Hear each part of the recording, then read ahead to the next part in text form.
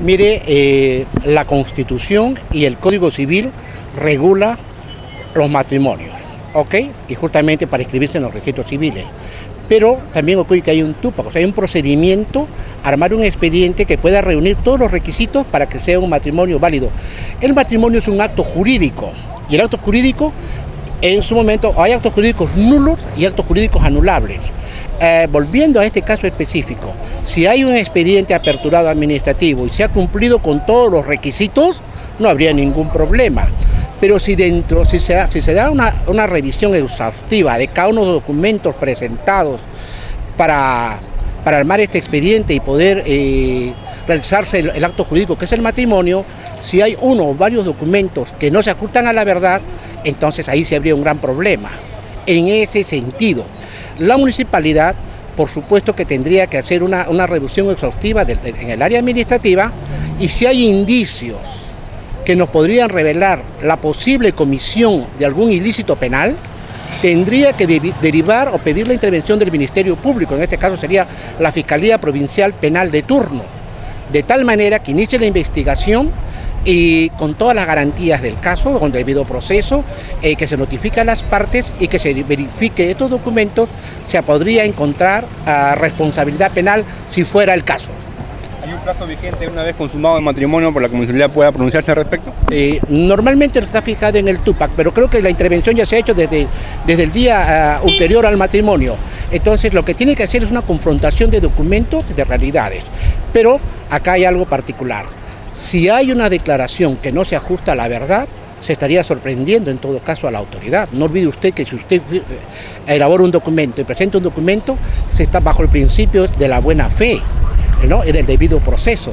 Si eso no fuera el caso, estaríamos pues, eh, como le dije, se tendría que ya ver en la vía penal a través del Ministerio Público y en su momento el, el juzgado de investigación preparatoria. Justamente es el tema en cuestión, ¿no? El, domicilio que ya ha consignado, en todo caso la novia, ¿no? Eh, claro, o sea, lo que acá viene el cuestionamiento más que todo es por el domicilio, ¿no?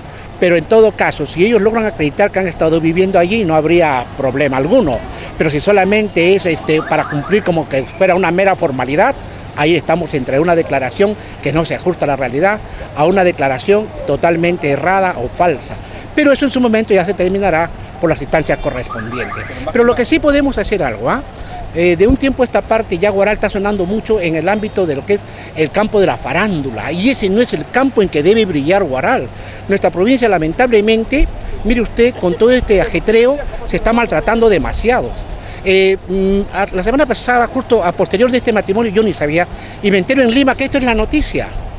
Salen todos los periódicos, caso sale Guaral, digamos, eh, como la ciudad que está trabajando duro en Ciudad Ciudadana, o que está trabajando duro en el sector turismo, o que está haciendo una gran reconstrucción eh, de los problemas que hubo con el Guay, con la parte altoandina de Guaral. No, lo que sale fundamentalmente es todo lo que es parándolo, y eso no nos ayuda para el desarrollo ni para el progreso.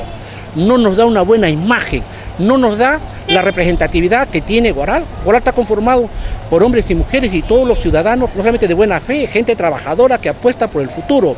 Pero de pronto vienen unos faranduleros que no han aportado nada por Guaral. Si esos señores dicen que viven en Guaral, que se fijen todos esos artistas que se han casado en Guaral, ¿dónde han estado? Ahora que venido el fenómeno del hueco apoyando entonces si estaban viviendo en Guaral. O son tan insensibles, o son gente tan indiferente que no se va a poner la mano al pecho y uno en el bolsillo para apoyar a Guaral. A ninguno de ellos se le ha visto que haya estado en Guaral concurriendo a estas zonas donde están los huaicos o que hayan concurrido en las zonas de necesitados.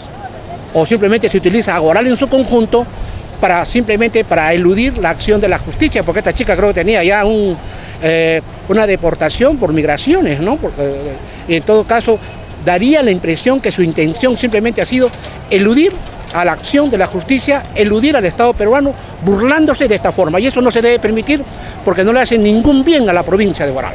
Respecto al aspecto legal, este, doctor, ¿se puede consignar el mismo, la misma vivienda en varios matrimonios diferentes? Bueno, ahí viene el cuestionamiento, ¿no? Porque este, es algo que sea una casa, pues esas casonas antiguas, eh, de la época republicana o colonial, donde tenían pues pero lo otro, no conozco la vivienda en sí, pero una sola vivienda en que todos estén viviendo, salvo que estén viviendo por temporada, pero hay mucha coincidencia. En todo caso, lo que sí podría darse sería materia de una investigación muy seria y rigurosa.